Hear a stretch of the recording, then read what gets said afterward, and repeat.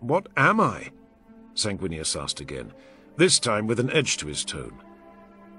What do you call yourself? Sanguinius.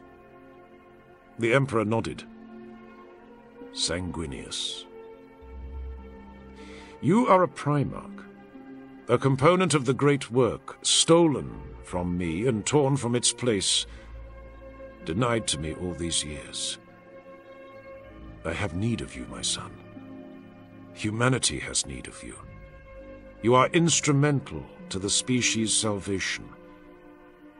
I have come to lift you from these dry roots, to take you into the stars, to give you a legion to command, and a future to fight for. What if I refuse? The Emperor seemed to weigh this. You will not refuse. I know your soul.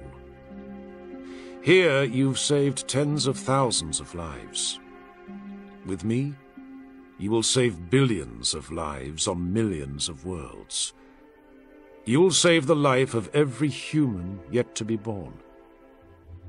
That is not something you could turn your back on. I want something from you.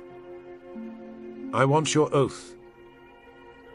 The Emperor was silent, allowing his son to continue. Do you swear, on whatever oaths hold value to you, that you will leave the clans of pure blood in peace, untouched by your designs unless they desire otherwise, free to exist as they already exist, believing whatever they choose to believe. The Emperor hesitated. Sanguinius saw the calculation in his father's eyes, and he wondered, is he taken aback by the love I bear for my people? Or is he merely considering alternate avenues around this obstacle in his great work? The Emperor finally spoke. You have my promise. Then let us speak of the future, Father. And so they did.